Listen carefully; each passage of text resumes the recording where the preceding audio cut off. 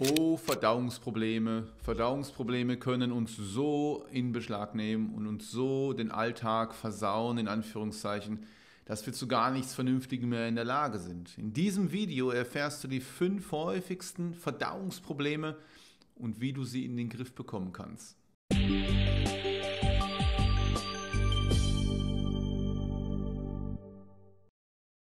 Nicht vergessen, abonniere unseren Kanal und wenn du Lust hast, lad dir unser kostenloses E-Book runter für noch mehr Informationen zum Thema Verdauung.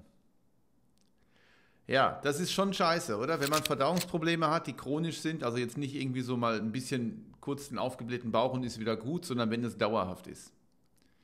Dauerhafte Verdauungsprobleme ja, sind einfach lästig und häufig sehr schwer herauszufinden und herauszubekommen, woran liegt es. Was sind die fünf häufigsten Verdauungsprobleme?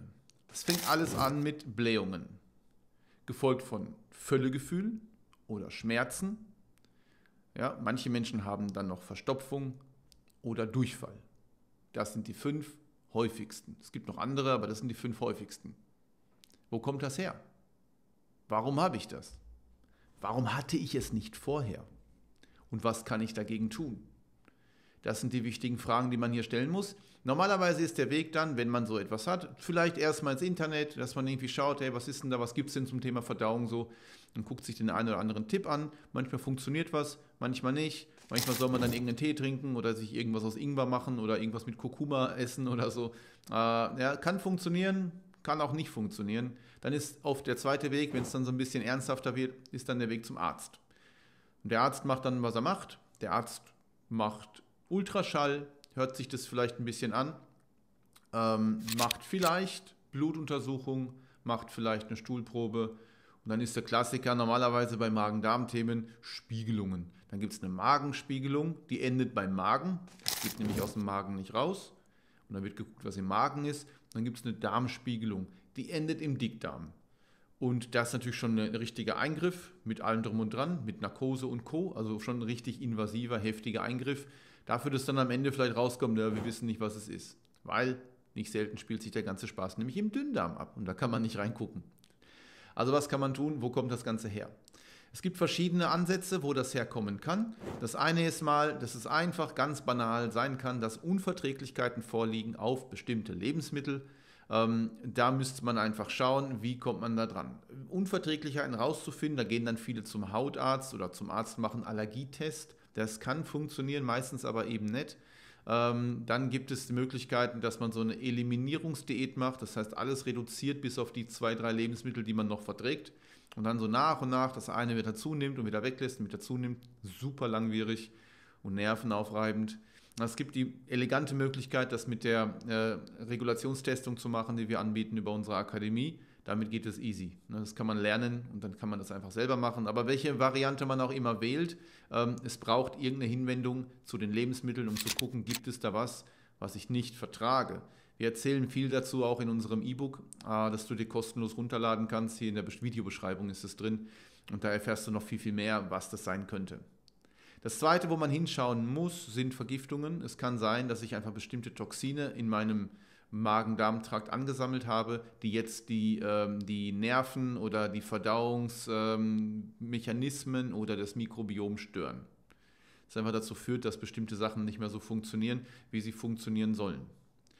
Dann ist es so, dass es sein kann, und das hängt damit zusammen, dass bestimmte Drüsen nicht richtig arbeiten in meinem Magen-Darm-Trakt. Es kann sein, dass mein Magen zum Beispiel nicht genug Magensäure herstellt.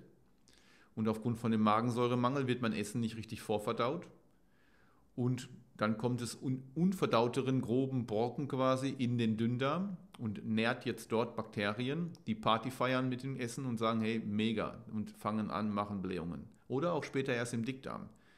Und Im Dickdarm sollte normalerweise ein relativ gut durchverdauter äh, Speisebrei landen und keine Brocken. Und wenn da Brocken landen, kann sein, dass die Bakterien sich daran laben.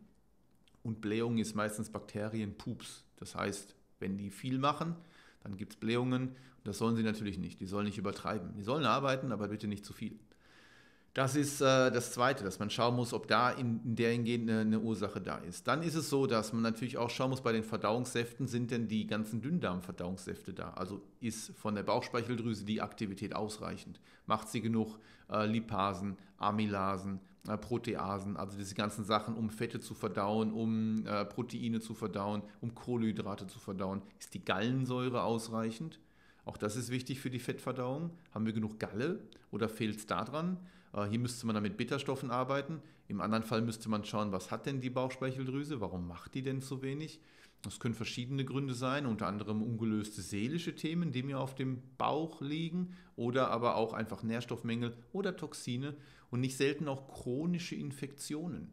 Wir haben häufig Besiedelungen im Darm, nicht selten aufgrund von den Giften, mit Parasiten oder Pilzen, Candida-Pilz oder irgendwelche Parasitenarten, die dann dazu führen, dass sie durch bestimmte äh, Mechanismen unsere Verdauungssäfte reduzieren, weil die einfach keinen Bock haben auf eine, eine Säuredusche oder auf irgendwas, was äh, Proteine verdaut, weil die wollen nicht angefressen werden.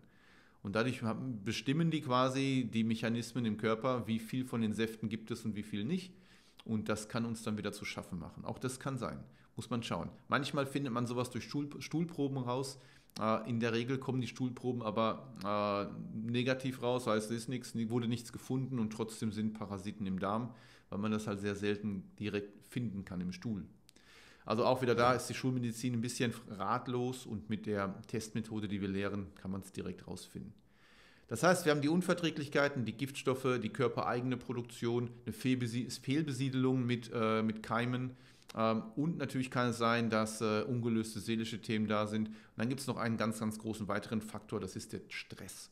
Stress auf allen Ebenen, entweder Stress, den ich mir selber mache oder den ich von außen aufgebürdet kriege, weil ich einfach zu, zu viel machen soll, oder Sorgen, die ich habe ähm, aufgrund von bestimmten Ereignissen in meinem Leben oder aufgrund von Ereignissen auf der Welt, was auch immer. Es ist ein chronischer Stress und sobald der Stress da ist und chronisch ist, gibt es auch wieder Probleme, weil unser ganzer Darm nämlich parasympathisch innerviert wird. Das heißt, er kann nur laufen und funktionieren, wenn ich irgendwie ein bisschen entspannt sein kann. Ansonsten geht Verdauung nicht. Und deswegen ist immer wieder wichtig, dass man aus dem chronischen Stress rauskommt und sich zurückziehen kann, Möglichkeiten findet, zur Ruhe zu kommen, mit welchen Techniken auch immer. Es gibt viele Anti-Stress-Techniken, die man nutzen kann. Das fängt an bei einem Spaziergang in der Natur, was wirklich super Magic ist. Also glaubt man immer nicht, aber es ist so dumm, wie es ist. Ein Spaziergang im Wald entstresst maximal, weil diese Terpene im Wald dafür sorgen, dass unser ganzes Nervensystem sich beruhigt. Das geht direkt in Kommunikation mit dem Nervensystem und fährt Stress runter. Das ist richtig wertvoll. Natürlich alles, was grün ist, ja, auch grüne Wiesen oder am, am Flussufer entlang. Also sowas kann richtig, richtig gut helfen. Aber natürlich auch Atemtechniken oder Entspannungstechniken können helfen. Sauna kann helfen. Sport kann manchmal auch helfen, einfach auf andere Ideen zu kommen. Also es gibt viele Möglichkeiten aus dem klassischen Stress rauszukommen, je nachdem, was gerade richtig und angelegt ist. Auch darüber sprechen wir in unserem E-Book. Das heißt, du hast jetzt hier eine ganze große Zahl an Faktoren, wo du hinschauen kannst, die leider Gottes alle nicht messbar sind mit schulmedizinischen Instrumenten, ähm, zumindest nicht ausreichend, und die man aber bedenken muss, wenn man wieder raus will aus den Problemen mit dem Darm. Und dann klappt das. Wenn man das richtig ansetzt, funktioniert es, nicht selten multifaktoriell. Wir sprechen über alle Faktoren im E-Book. Lad's dir runter. Wenn es dir gefallen hat, dann abonniere unseren Kanal für weitere Infos rund ums Thema Gesundheit. Ciao, der Matthias.